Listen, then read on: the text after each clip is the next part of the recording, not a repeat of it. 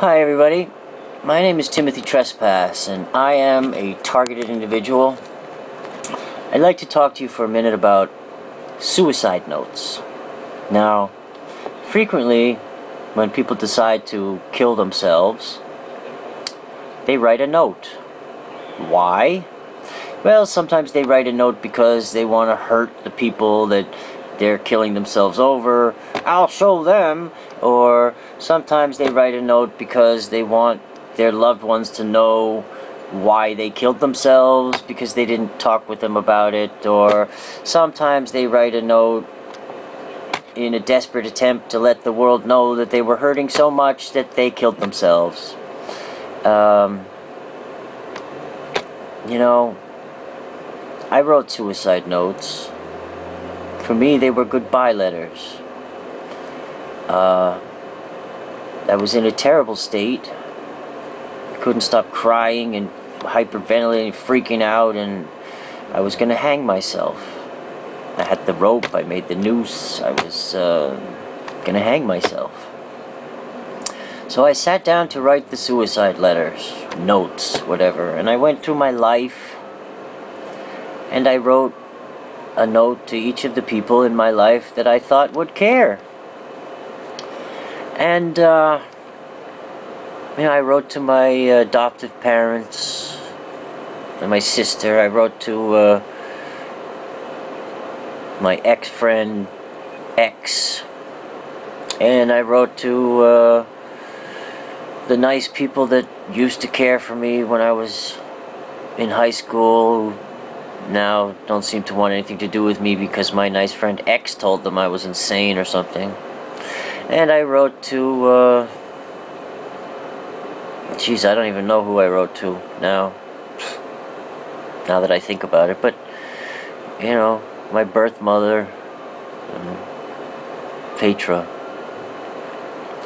And I carried these notes around in my pocket for about a month each in an envelope with a stamp, sealed in a, in you know, with the address so they could be mailed or whatever, you know. Um, I didn't kill myself that moment because when I turned off the lights and I put the noose around my neck and was about to do the deed, uh, Petra woke up and said, What are you doing? And of course I was didn't want to burden her. You know I realized so so that was done with. The notes the suicide notes. Here we are three years later. The notes I threw them up I ripped them up I threw them out. But I've realized something in the time that has passed since then, most of the people that I wrote those notes to really didn't give a shit. They don't care now, they didn't care then, and if they ever cared, you know, um, yeah, this friend X, this guy, uh, he was a very close friend for a number of years. I considered him my best friend. I thought we were partners, business and life, whatever, you know. But what a fool I was.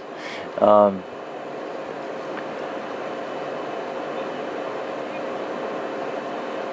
oh, it's such a long story, but I guess the moral of the story is that that people that you think care about you can turn out to be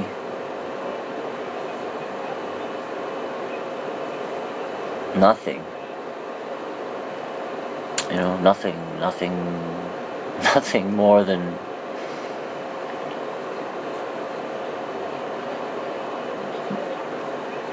nothing more than everybody else, you know?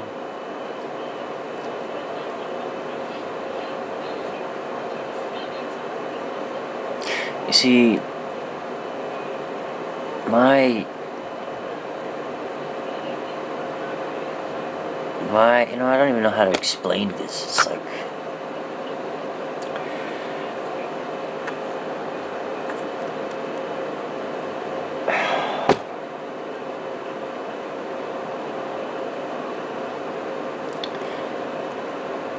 I don't know how many of us there are. People like me and you who have uncovered realities in their lives that show them that uh, things were not the way they thought they were. Life was not the way they thought they were. People were not who they thought they were. And I wasn't who I thought I was. And you realize that uh, you're hurt, people are hurting you, and you can't find much quarter, solace, respite, assistance, love, care, protection, safety, validation, comfort, reassurance. And um, the harder things get, the less people care because they're so busy caring about themselves. And we have to care about ourselves, you know. If we don't care about ourselves, what do we have? And this is something Petra and I argue about because I somehow feel that you know, if you uh, excuse me, if you give all that you have to help another or to help others, and you have nothing, who's supposed to help you? The other? God is supposed to help you. Supposedly that was the promise that he made to us somewhere, but maybe not. What do I know? And she argues with me that yes, that's all fine and dandy, but if you don't have enough to care for yourself, then you cannot care for anyone else.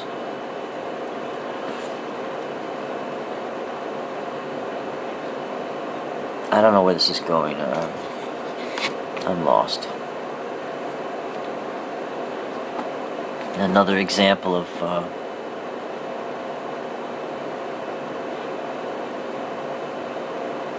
You know, it's not that I'm stupid. It's not that I'm forgetful. It's not that I'm. Right at the moment where I lost my train of thought, I heard. You know, so you detect these slight changes in, in variance in not so much tone, but level or or uh, phase, uh, uh, timbre, something, slight change. And, you know, I know you look at me, you're like, wow, this kid's mucked up and his brain is probably a wreck or whatever, and I'm sure it is. Morgellons is hell, microwaves are cooking my ass, but, uh, I think the reason why they chose high functioning people for some of this is because it, it's you can do it longer and you get more more information.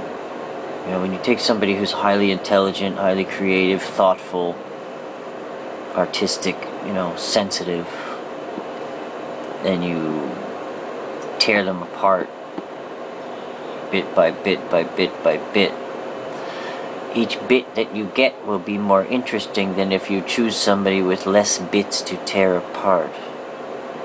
You know what I mean? There's more data, there's more bandwidth, there's more range.